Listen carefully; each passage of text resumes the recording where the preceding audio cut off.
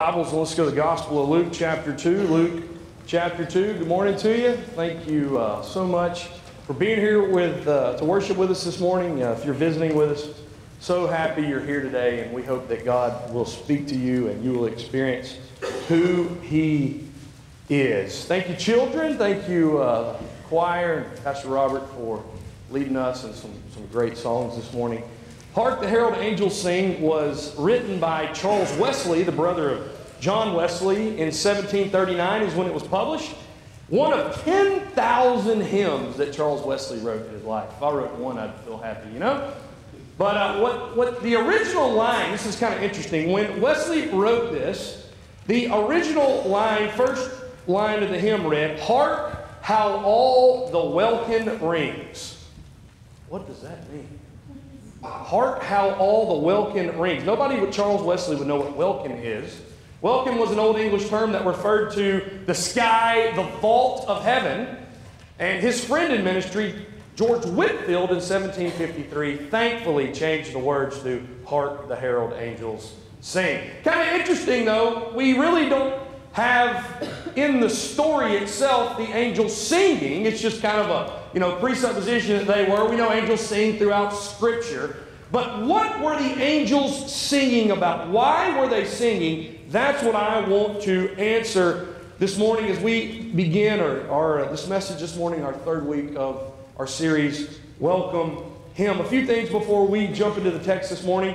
Um, I want to uh, give this as an encouraging note. We have uh, just shy of $5,000 already given towards Lottie Moon Christmas offering. Praise the Lord for that, right? Christmas is the story of the greatest missionary story in history, right? God coming down and dwelling among us. God being incarnational. God pitching his tent among us, coming from a foreign place into our world. And so, as we have this Christmas season, let's continue to give towards that. We have missionaries on the field in all parts of the earth preaching the gospel of Jesus. So, if you've given so far, thank you very much. Also, reminder this Wednesday night, we're going to go out caroling. If you show up at 6:30, there won't be anybody here, okay? We're going to eat our normal Wednesday night supper, and then we're going to pray, and then we're going to go minister to people that maybe can't get out, and some of our homebound and our widows, we're going to go carol. So we've been announcing that, and we'll have all that ready for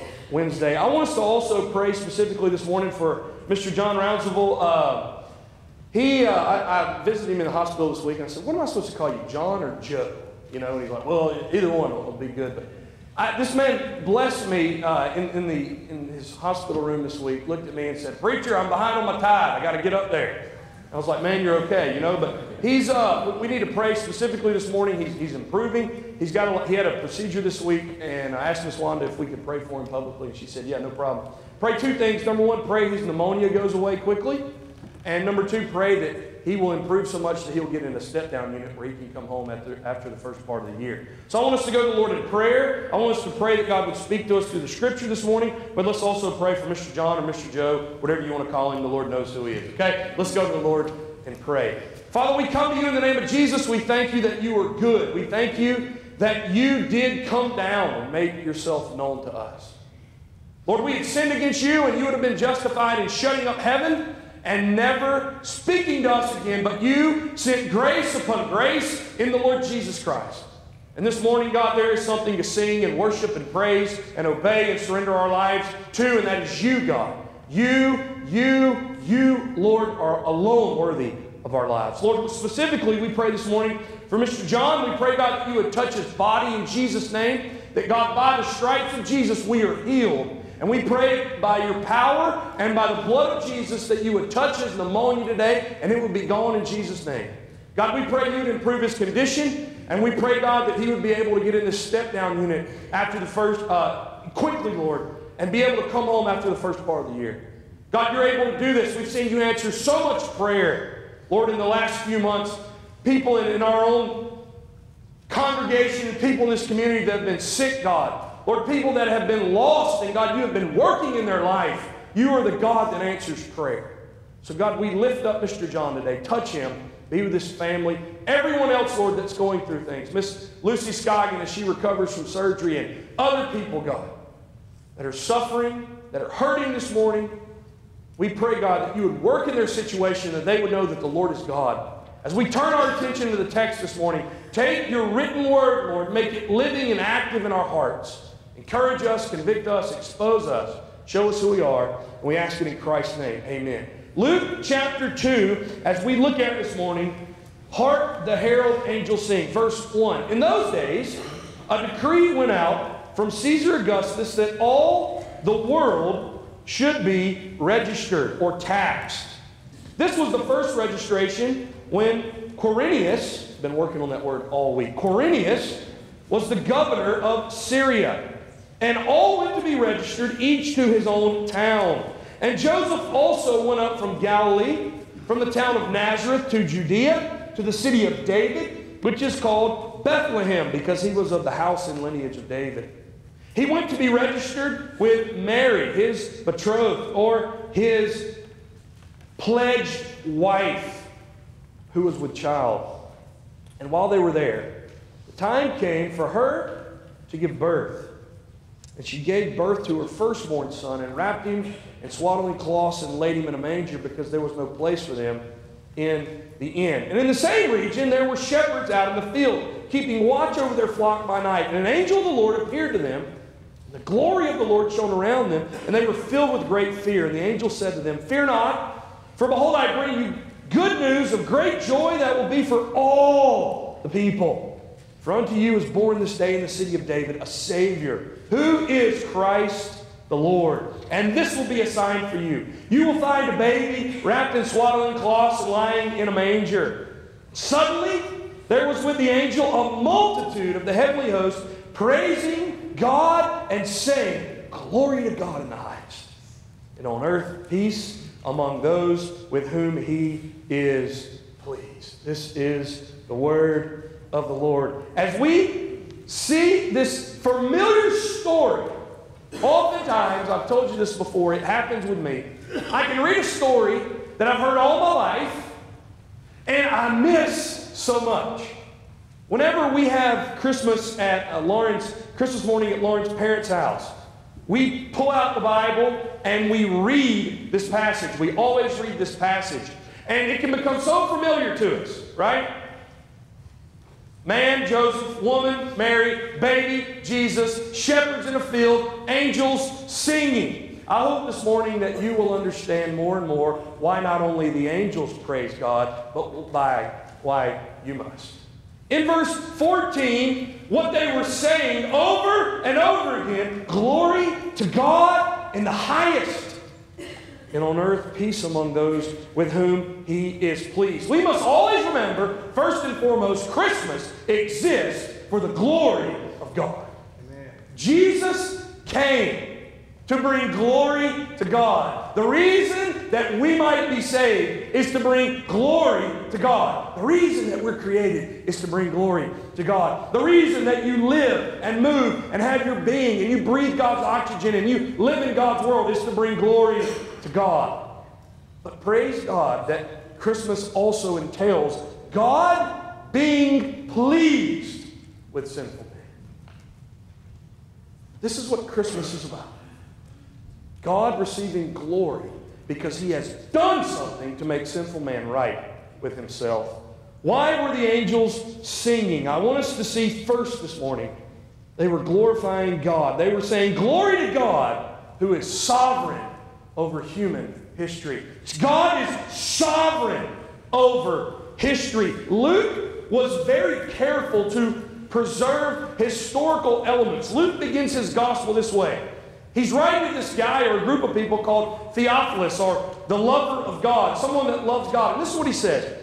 He basically says, I did my homework, I did my investigation. We heard these stories, they were passed down to us. But I went back and I did my best to investigate, to research what was accomplished among us. And we must always remember that the faith that we believe in is built and rooted upon historical facts.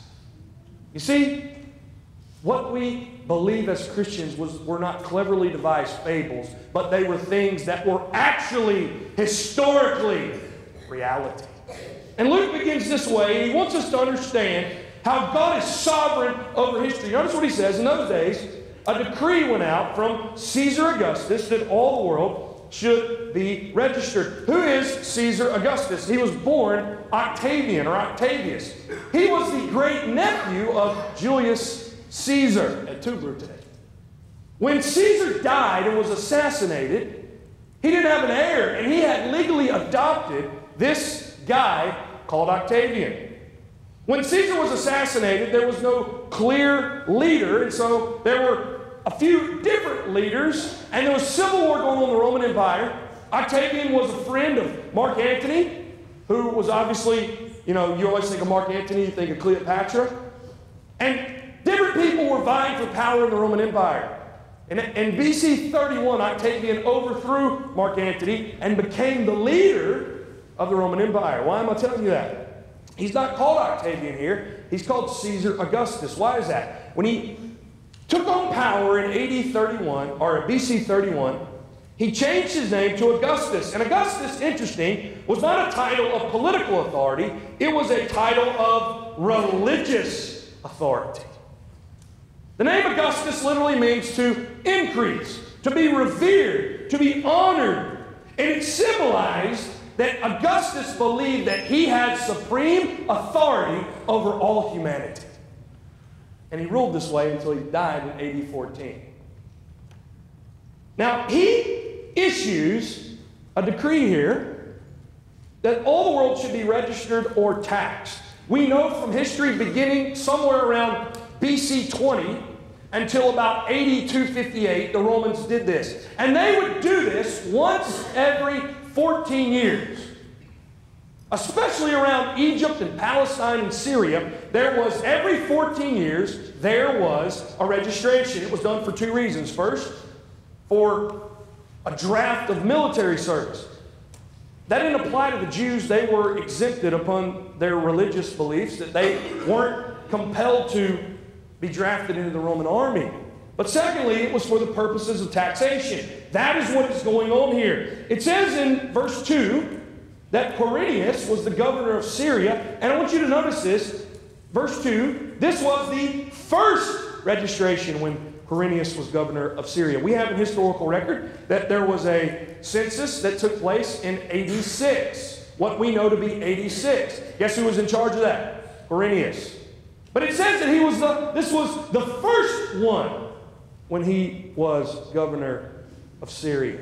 Quirinius previously served as a military commander, and Luke doesn't use a specific title here. The word governor just means somebody in authority. So if we go to 86, and we go back 14 years based off the Roman cycle, Caesar Augustus issued this decree around BC 8, which means Jesus was born scholars believe somewhere around BC 6.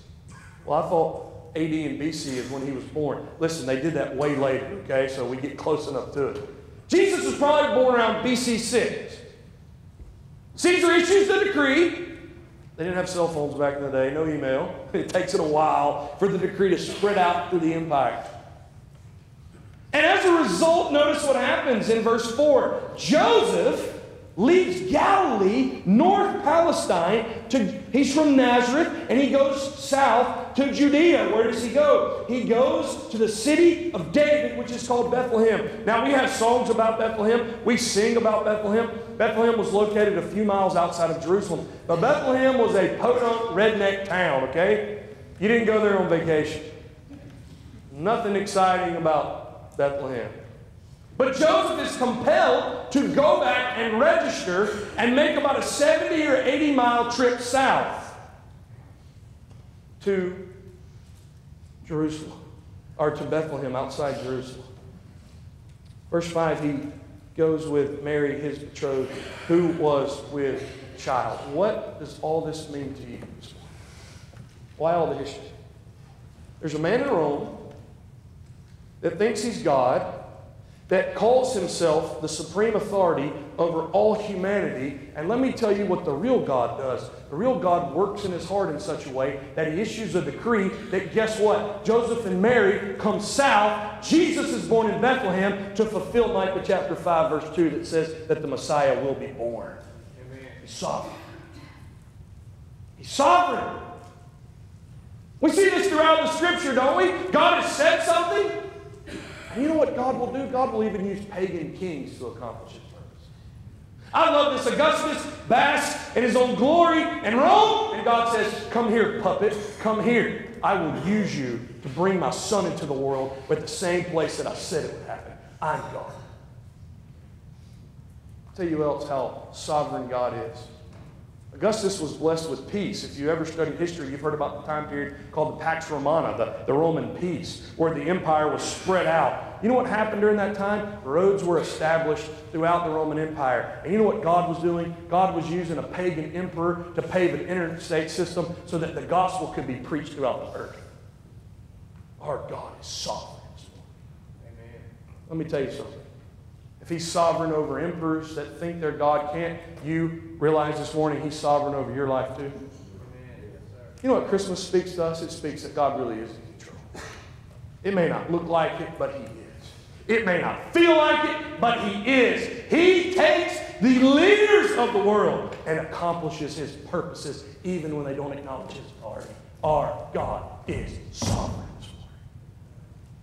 And the angels were praising God because can you see what has happened? Verse 4 Joseph went up from Galilee, from the town of Nazareth to Judea to the city of David, which is called Bethlehem, because he was the house and lineage of David. This just doesn't speak that God was just sovereign over this period in history. God had been establishing a lineage since Adam and Eve. I'm going to raise up a man named Abraham. He's going to have son named Isaac. He's going to have a son named Jacob. One of those sons is going to be called Judah. He's going to have down the way, he's going to have a king called David. And God says, I'm going to set it up to show I am in control. And this morning, Christian, take heart. God is sovereign. He is completely in control. The angels were praising God because he is sovereign over history. Secondly, the angels we're praising God and glorifying God because God here is born in all simplicity. Verse 6. While they were there, time came for her, Mary, to give birth. She gave birth to her firstborn son. She wrapped him in swaddling cloths. She laid him in the manger because there was no place for them in the inn. We don't know how long the trip was. We don't know how long they stayed in Bethlehem. And I don't think necessarily the text says that like they showed up one afternoon and she went into labor pains within 30 minutes. Well, we're here, kick it in. You know, I don't think it happened like that. They were there, and this would have taken some time. But it's the text speaks that at least with Mary and Joseph, there was no angelic announcement, right? There was no heavenly trumpets being played. Can you imagine what it's like for Joseph to roll into town? Dust and dirty and grimy, be leading his pregnant wife. We always assumed there was a donkey there. Can we be sure? Joseph was a poor guy, right? Can you imagine what happened when they were leaving Nazareth? Remember, she's got big baby bump and they're not married. Remember that? We talked about that a couple weeks ago. One man said it this way Mary obviously tagged along with Joseph for two reasons the, the edict from Rome and the gossiping tongues in Nazareth. Joseph rolls into town with his pregnant wife, and the word we have there for in doesn't mean like, you know, like Motel 6, like, you know, we'll leave the light on for you. That's not what it's talking about. Because of the census, there were probably temporarily, temporary places that travelers and people would set up. And it may have been like a temporary shelter. It was a place for travelers to come through. Now, church tradition tells us in the, in the second century there's a tradition that says that they actually went into a cave. We don't know if that's true, that's just a story that's passed down. But either way, there was no closed door, there was no labor and delivery. And very possibly, she could have been having this baby along the roadside where they kept the animals. It says that she gave birth to her firstborn son. Interesting. Mary was normal, there's nothing special about her. Some people have taught that Mary stayed a perpetual virgin. She didn't. It says this was her firstborn, implying that she had other babies later on. Mary's normal. Joseph's normal. Let me tell you something. That night, it was a holy night, but it sure wasn't a silent night. Anybody in here want to say they went through their, their labor and delivery in a, in, a, in a silent? Nope. Mary was screaming at the top of her lungs, because that's what women in labor, labor do. Joseph is like freaked out. What do I do? The only person he has to turn to is a sheep. They placed him in a manger, of literally a feeding trough with leftover hay, half chewed cud. And God entered into time space in the most simple and humble surroundings. John MacArthur says it this way no angels appeared to Mary and Joseph as they later would to the shepherds. No heavenly trumpets rang. No voice from heaven announced the birth of the Son of God. Alone, except for her young husband, far from her family and friends, in the most primitive of conditions, a young girl gave birth. Thus did the second person of the Trinity step from eternity into time and space. And I think what God wants us to see in this is that the angels were praising God let me tell you, there was wonder, there was mystery, there was awe in the plain and normal humdrum of everyday life. In the midst of half chewed hay, in the midst of dirt, in the midst of normalcy, the sun got right. You know what that means this morning? It is not how we feel that makes us spiritual. It is what is true in our lives that makes us spiritual. Amen. There may be times when all we have to hold on to is a piece of half chewed hay, but you know what? If Jesus, the Son of God, has invaded our lives, we know that to be true, not because of what we feel, but because of what God has done. And I think it speaks to us again of the mystery that Jesus Christ was born just like us. He didn't like pop out a three year old.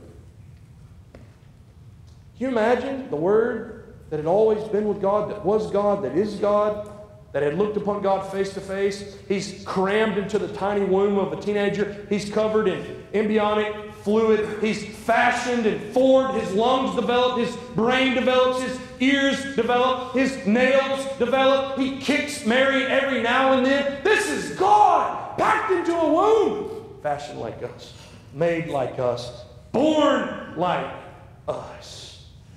Oh, the mystery. She wrapped him in swaddling cloths like any other baby would have been to keep him warm, to keep his arms and legs strength. He was born just like us. This is God born vulnerable, God born killable for our sake. And the angels were praising the simplicity. You see, everything that God calls us to do is pretty simple. And that has massive implications. Y'all, we complicate stuff, don't we? Right? When your kid unwraps something on Christmas morning, just follow the directions. I know how you do, do it. You toss it. I got this.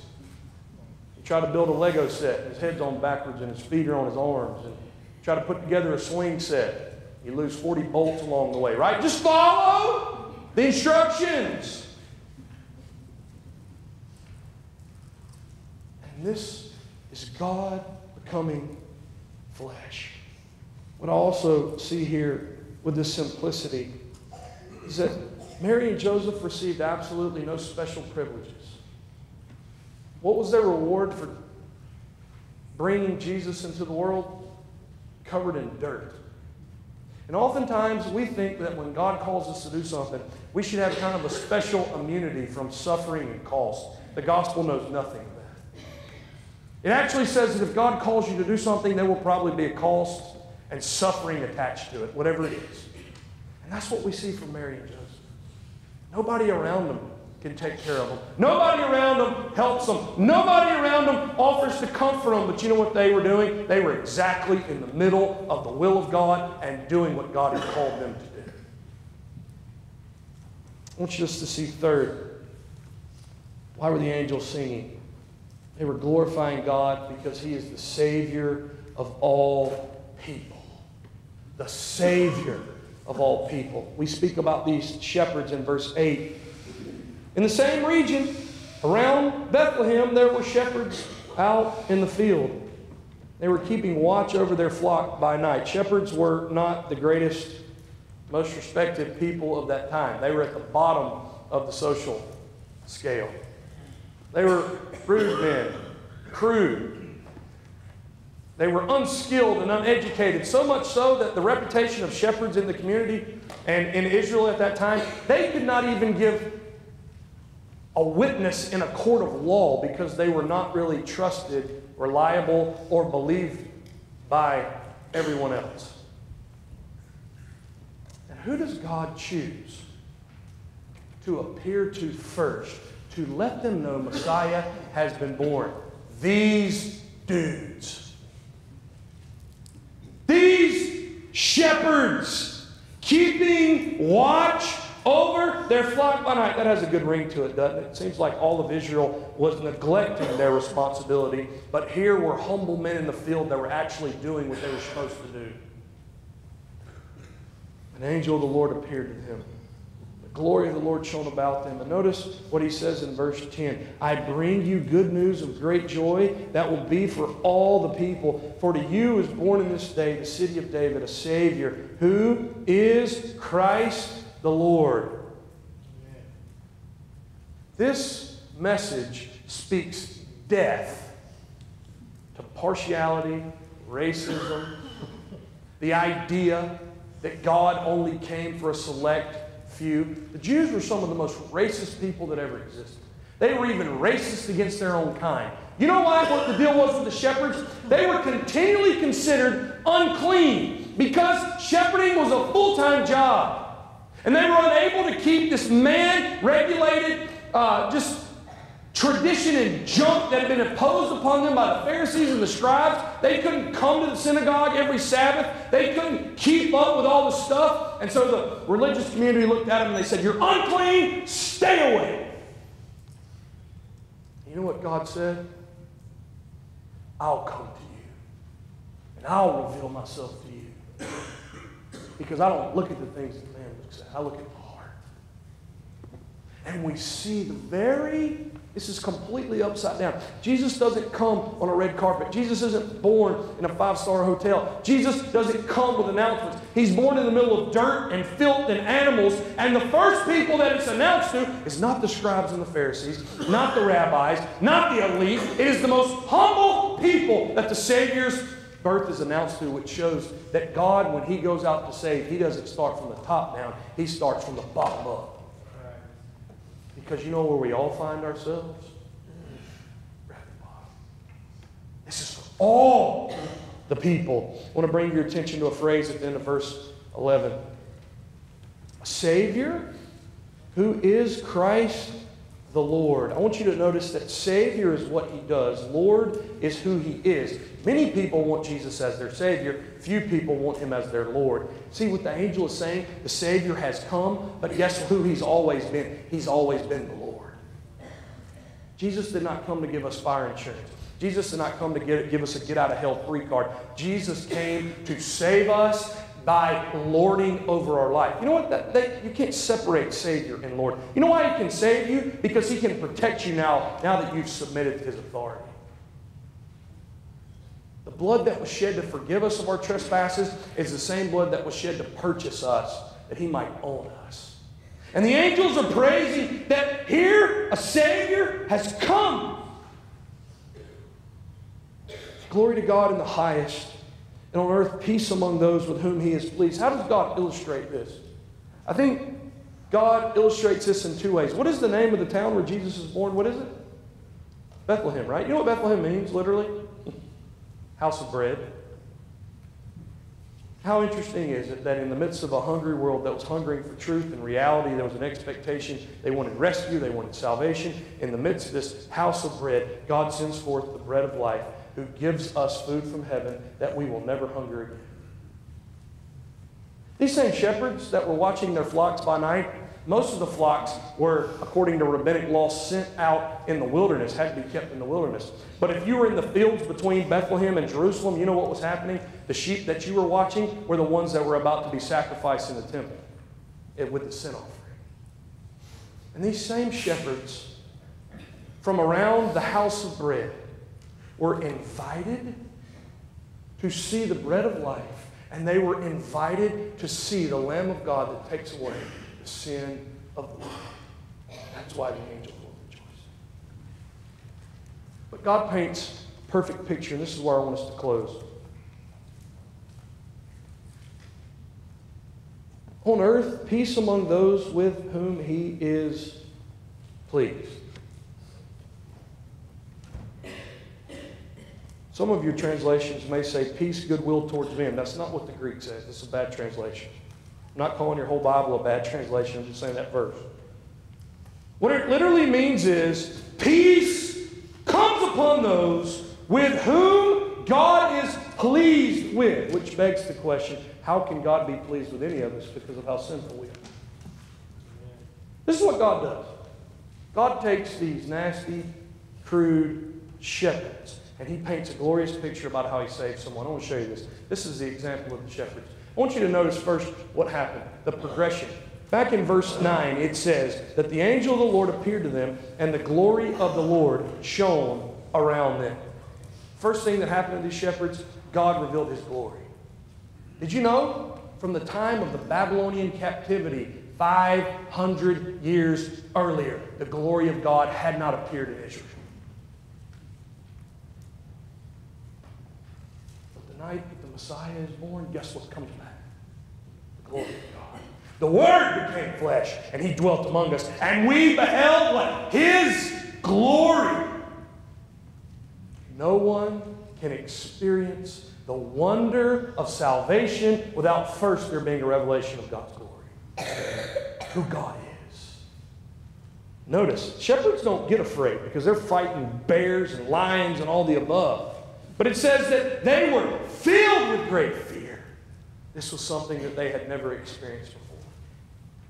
It was a revelation of God's glory.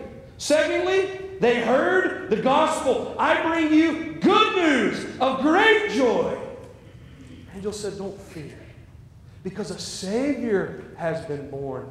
Probably one of the reasons that the shepherds received the revelation first and not the religious crowd is because these were common men that knew their own weakness, that knew their own failure, that knew their own sin. They knew they needed a Savior. They heard the gospel. Third, they obeyed the word.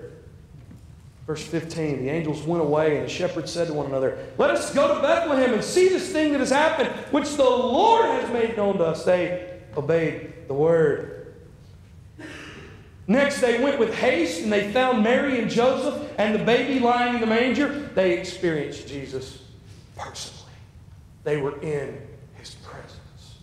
Who cares if he was a baby? This was the Christ, the Son of the living God. And as a result of that, verse 8, verse 17, when they saw it, they made known the saying that had been told them concerning this child, and all who heard it wondered what the shepherds had told them. Verse 20, the shepherds returned, glorifying and praising God for all they had seen and heard as had been told them. You see what happens? There was life change. See how these men are a picture? First, witnesses to birth of Jesus.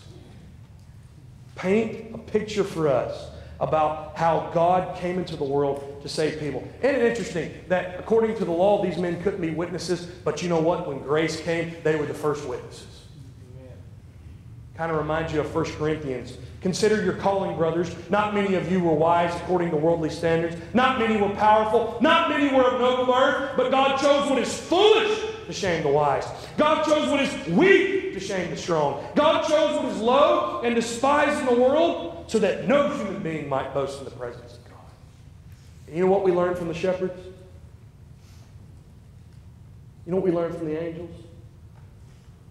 This story speaks death to our own ability to save ourselves. It speaks death to our works, to our self righteousness, because God comes to people who could never save themselves, who are not even accepted by their community, who are out, who are way out there and pushed out and neglected. And God says, Come, eat, experience. It also speaks of what we know to be true, solus Christus, that Jesus alone and Jesus alone and Jesus alone can save us. So, where are we this morning as we close? There's three groups of us here this morning. Some of us are Caesar Augustus. Some of us think that we have supreme authority over all.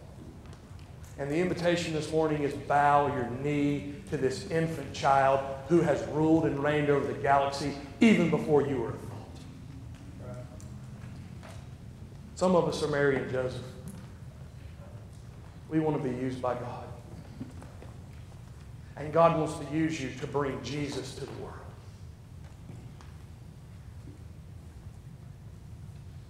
Some of us this morning are like the shepherds.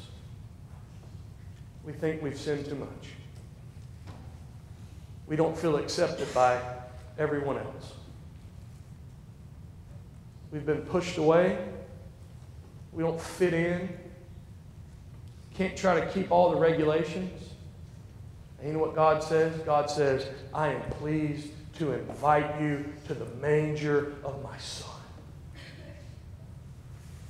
And it is only through Christ that God can be pleased with people like us.